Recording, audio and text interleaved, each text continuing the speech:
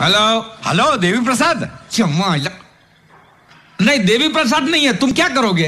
Sir वो मेरी मछली का क्या हुआ? हाँ वो तो मैं खा गया। खा गए? हाँ वो मैं मस्त तेल में फ्राई करके वो मैं खा